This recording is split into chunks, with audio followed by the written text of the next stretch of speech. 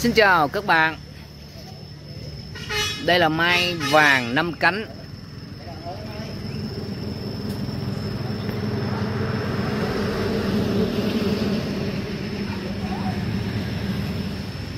Các bạn à, nếu mua được Thì gặp gia chủ thỏa thuận.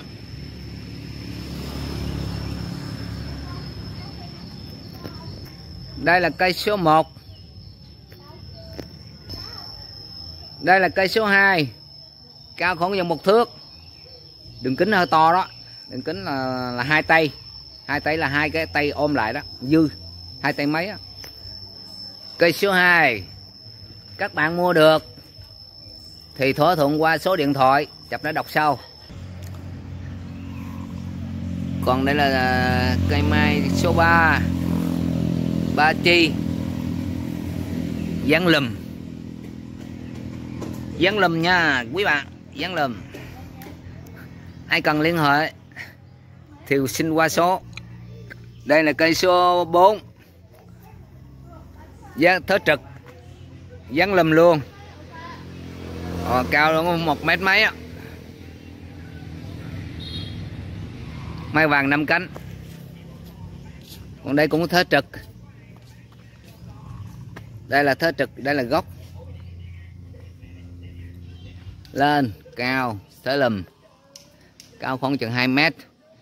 Mà cắt tum lại, mai mốt cắt tum lại, bò vô, nó lên ờ, tạo ra dáng là một sơn núi đó, một sơn là núi đó. Tức là nở ra, gọi là kim sơn mai.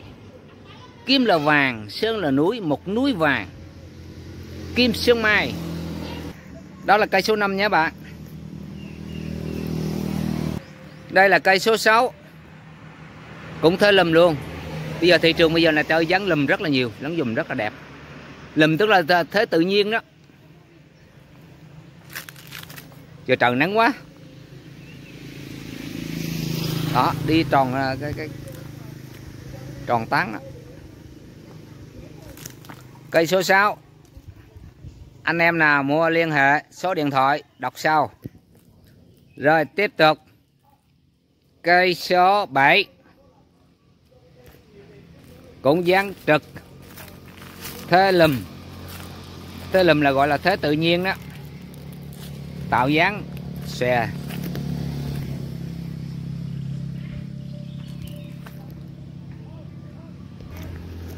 Còn cây đây nó ra cũng như là mà cổ thụ rồi đó. Mai đây là dáng ờ, lùm.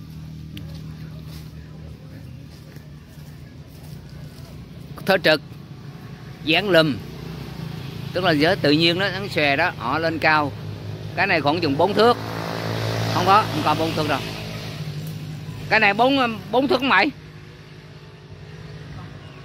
Chú hả? Ờ cái cho đó chắc. Tại mình tính cái cây bạch đàn này ờ nó đứng đây này tính cây bạch đàn lên. Nói chung là bằng cái cầm chân. Dạ. cây đẹp tiền đẹp nha các bạn. Cây đẹp tiền đẹp cây xấu tiền xấu cây một triệu vẫn có. Không? Cây hai chục triệu vẫn có. Cây ba chục triệu vẫn có. Ba chục triệu tiền Việt Nam mi đó. Phải đừng nói ba chục ngàn, ba chục triệu đô.